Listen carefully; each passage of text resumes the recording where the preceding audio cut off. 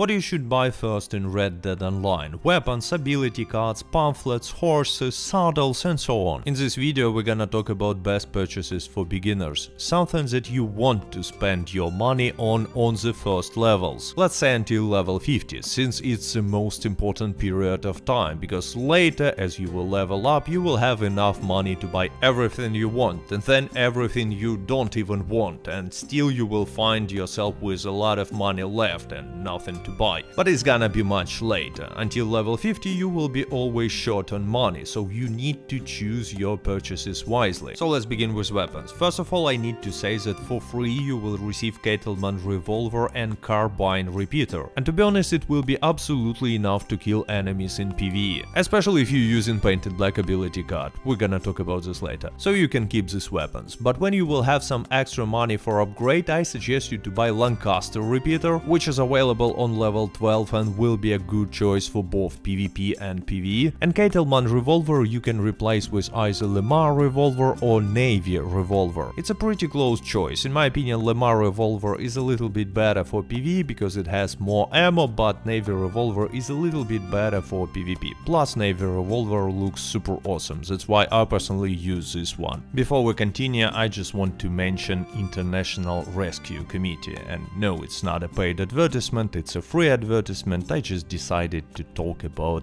important charity organizations that are helping people across the world, and IRC is one of them. Big respect, link in the description. By the way, on level 25 you will be able to dual wield and use two revolvers at the same time, just don't forget to buy the cheapest holster, it costs like $8 and add it to your outfit. So now when you have a repeater and double revolvers you are ready for any form of PvE, but you might say what about pistols, should I buy pistols? And my answer is no, you probably don't need pistols until you will reach higher levels, because pistols are good for PvP and as a low level you should not take part in any form of PvP because you're gonna be in a huge disadvantage. Your high level opponents will have overpowered tonics, ability cards, explosive ammo and so on, it's not gonna be a fair fight. So you're not ready for PvP just yet and in PvE revolvers are better just because you can carry more ammo for revolvers with you than for pistols. So you will buy pistols later, preferably Mausers. Now we're gonna need some weapons for hunting. First of all I definitely suggest you to buy Varmint rifle on level 8. It's pretty cheap and it's a really useful weapon for different situations. With this weapon you can hunt birds and smaller animals like rabbits without ruining carcass and pelt quality. Also it will be useful for collector role because you can get bird eggs off the trees with help of Varmint rifle. And you can even use it in PvE because you will kill enemies with a headshot. Just remember that it's not gonna work the same way in PvP. This weapon is not good to fight another player. Next weapon that is definitely a must-have, especially on the lower levels, is a bow. You can buy regular one on level 10 or improved one on any level. I actually suggest you to buy regular one just because it's cheaper, and improved one has higher range but much lower damage. With bow you can kill bigger animals like deers without ruining the pelt quality, but the most importantly, when you kill NPC or other player with a bow you leveling up your health bar. And yeah, you can also level up your health bar with help of fishing or by making kills in melee, but with the bow it's just the easiest method. Now you need another weapon for making clean kills when you're hunting deers or even bigger animals like alligators or bears. And here you have a choice. If you know that you're not good with free aiming and will rely on auto aiming or on Paint It Black if you're playing on a PC, I suggest you to buy bolt action rifle. It's relatively cheap and you can buy it on level 7. But if you know how to free aim or at least you're willing to learn, I suggest you to go and buy rolling block rifle on level 13. It's a sniper rifle, so there is no auto aiming, no Paint It Black, but it's a really powerful weapon. Sniper rifles are extremely good for most activities in Red Dead Online, for hunting, for PvP and for PvE, and later you will be able to buy a Carcano rifle which is even better. Actually there is one more weapon that you might want to buy on the lower levels, I'm talking about shotgun. It's unnecessary but it will make your life much easier in PvE, especially if you're not that good with the headshots. Anyway, you might choose pretty much any shotguns that you want. According to my tests, it's a pretty close choice. Pump action shotgun is well balanced and it's available from level 5, so maybe choose it when you will have enough money. Now when we're done with weapons, let's move to another big category, horses and saddles. There's one important thing about horses in Red Dead Online that you should know. Stats don't matter pretty much at all. According to my tests, one bar in speed parameter equals only to 0.6% difference in speed on practice. Acceleration doesn't matter at all, amount of stamina is completely not important because any horse when you will reach bonding level 4 and will have a good saddle will never run out of stamina, like never. And with that being said, you can choose pretty much any horse that you like, including the horses that you will receive for free at the very beginning of the game and you will be absolutely fine, just reach bonding level 4 and buy good saddle. But if you still care about stats, I suggest you to buy Mustang, because for this price it has pretty good balanced stats and additionally it has high amount of health and it's actually only parameters that can make at least some difference on practice. Also it has no level requirement, so if you like how Mustang looks, go ahead and buy it, it's gonna be a good choice. Now let's talk about more important thing, saddle, and here we actually have only one option, it's a no-brainer, Nacogdoches, that is available on level 35 and will cost you $512. It's definitely the best saddle in the game and no other saddle is even close just because it's broken. Rockstar kinda messed up with stamina drain rate for this saddle and if you will buy the most expensive stirrups for the saddle you will never run out of stamina on your horse. So yeah, just buy Nacogdoches saddle and the most expensive stirrups that you can and any horse will do absolutely fine. Now let's move to ability cards. It's a pretty important topic because they are quite expensive. To max up one ability card to level 3 you will need to spend $900. On the first levels you will receive one Deadeye ability card for free. I definitely suggest you to choose Paint It Black here. And in the future you should invest your extra money into leveling up this ability. This way you will spend less Deadeye on activating and using Paint It Black and it's a pretty useful ability in different situations. Because it's not only marking targets but also when you will activate it even without placing a mark it will give you perfect accuracy for every weapon. But if this ability is only level 1 you will be running out of the dice super fast so you want to invest money here. When you will reach level 10 you will be able to purchase your first passive ability card but I actually suggest you to wait until level 28 and then buy Eye for an Eye ability card.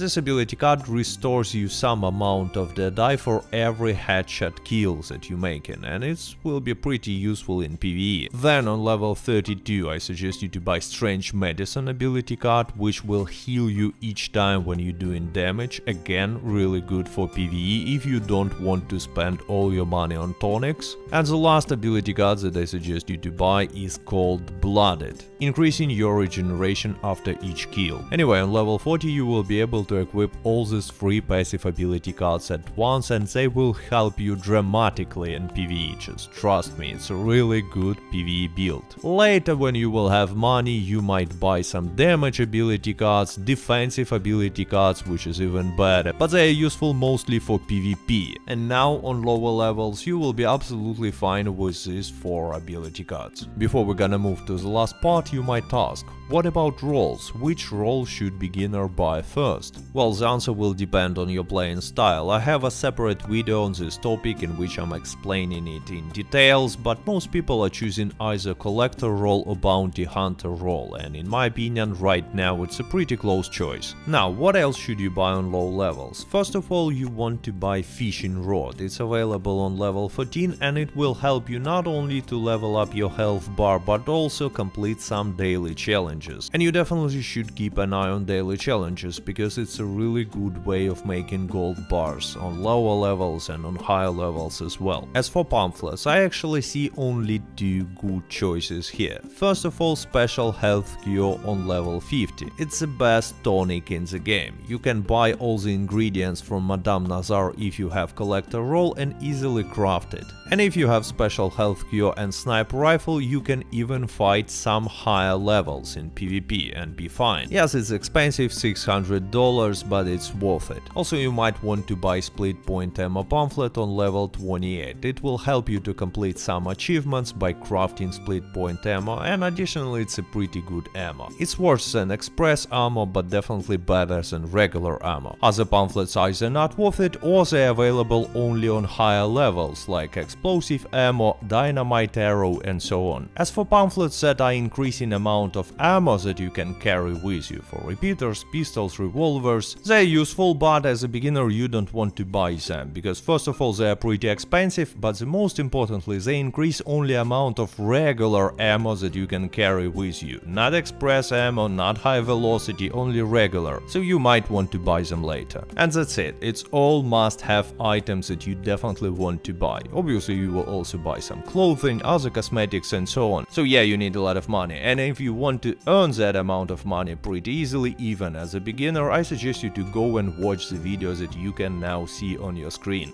Get rich fast in Red Dead Online. And with that being said, I hope you enjoyed this video. Thank you for watching, like, subscribe.